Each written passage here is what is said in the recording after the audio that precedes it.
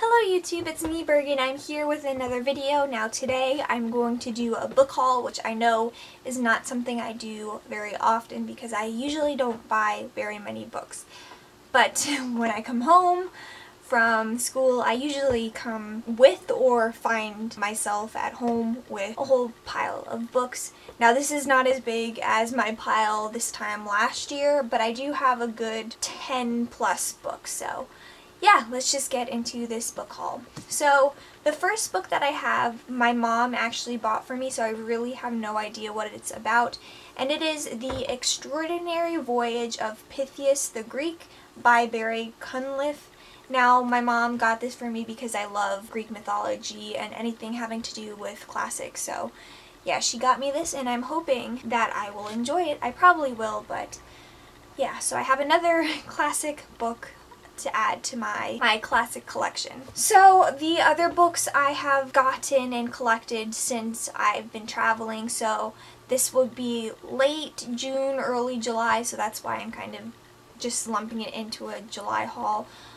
But yeah, so all of these books I've pretty much gotten while I was traveling except for one book.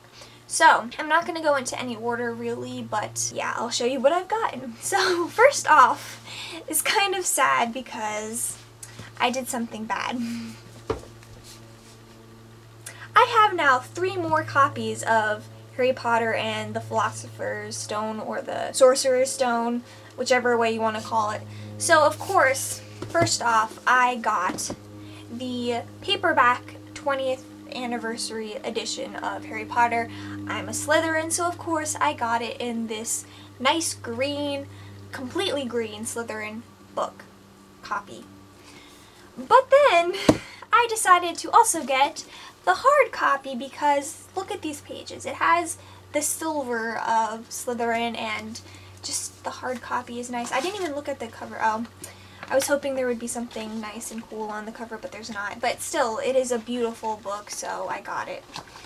Now, the third edition I have, I got in Greek.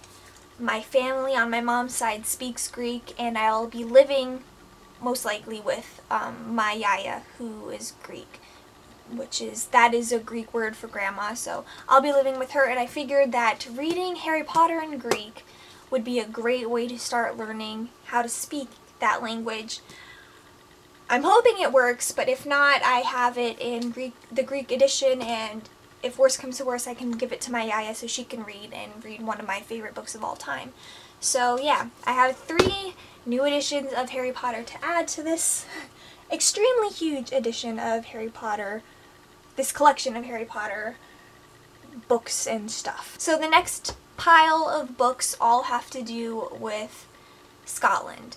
So if you guys don't know, I've been studying at university in Scotland for the past four years and I finally graduated, so I kind of was feeling sentimental about Scotland and wanted to get some things to remember it by and to learn more about the history. So first up I got Scotland the Autobiography, new edition edited by Rosemary Goring and this has 2,000 years of Scottish history by those who saw it happen. So I really, even though I've lived there for so long, I really do not know much about Scottish history, so I figured even though I left Scotland now, that I should learn more about the country that I lived in for four years. As well, I got A History of Scotland by Neil Oliver. Again, I wanted just to learn more about the place I lived in and I figured this would be a good way to do it and also it's just a pretty book. Same with this one, it has the Scottish flag on it so both of these are great beautiful books that will hopefully help me in learning more about the country that I had lived in and left. Which is really sad. I know I'm laughing, but I am crying on the inside that I left Scotland. Now the third book is Scottish Myths and Legends by... Oh, who's it by? Oh, selected by Mo Rosemary Gray.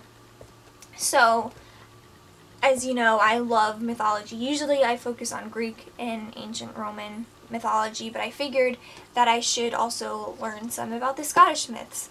And yeah, I just love mythology in general, so this is a good way, I think, to learn about some Scottish myths and stuff. So, yeah, I picked that up. Now the other two books that I bought, or two other books that I bought are connected to my love for classics yet again. The first book I got is The Greek Myths, Stories of the Greek Gods and Heroes Vividly Retold by Robin Waterfield. I bought this while I was in Bath. Oh, and you can see the price on it. It was really cheap. No, that's not coming off. Anyway, so yeah, I bought this while I was in Bath, which has the Roman bath, hence its um, place name. And I just figured it would be a great place to get a Greek mythology book. I'm pretty sure every, well not every place, but most of the places I've been to, especially in the UK, I have gotten some kind of Greek mythology related book. So just figured I should add to the collection because why not? And with this being so cheap, it was a good bargain. The other book I got while I was in Greece, well in Santorini, so it is Tales of the Greek Heroes by Roger Lancelyn Green. And this is just so beautiful. Oh my god, I just, I knew when I saw it that I had to have it. And, which is really cool, is I bought this while I was in Santorini and they have this one little bookstore. I'll insert a picture here of what it looks like. But it is kind of one of those pictures of bookstores that you find everywhere and like any list that says the most beautiful bookstores in the world. So I was there and they actually stamp the inside to prove that you've been there. So I was really happy to get that as well. Just to, not only for the Greek mythology aspect, but also for the connection to Santorini. And I mean, I felt like I should get some kind of Greek mythology book while I was in Greece. It only makes sense. The other four books are kind of a mishmash of stuff. So going along with the history books, I have The Shortest History of Europe by John Hirst. I just felt like this would be an interesting thing. I want to get more into history, so I figured this would be a nice overview of all the history of Europe. The second book I have is The Secret History by Donna Tartt. Now I have her other book, um, The Goldfinch. I have not read it yet, but I wanted to read this first because I'm pretty sure this was written first and I wanted to read this because it has to do with classic students and I was a classic student so I just really wanted to get this book to see how it would play off of the classic student aspect of it. The next book I got was again while I was in Santorini and it's just a little coloring classical Greece coloring postcard book and yeah I just wanted another coloring book because I am now collecting them. So this is the second one that I've actually gotten when I was in Greece. And again, this was when I was in Santorini, I think. So this will hold memories as well as just being a nice coloring book. Now the final book I bought was a book that I bought when I came back home because I did not have it and I needed it. and it is Camp Half-Blood Confidential, Your Real Guide to the Demigod Training Camp, which is a an official Rick Riordan companion book and it's from Percy Jackson. So I really just collect all of the Percy Jackson books. I'm pretty sure I have all of the companion novels. I might be missing one or two, but I'm pretty sure I have all of them. And I just love Rick Riordan, so just I, I just want all of his books. so I bought this when I saw it. So yeah, those are all of the books that I've bought since June. Yeah, I hope you guys enjoyed this book haul and let me know what books you bought. And again let me know any books that you recommend for me to read. I am open to any suggestions and would be very glad to have any suggestions at all.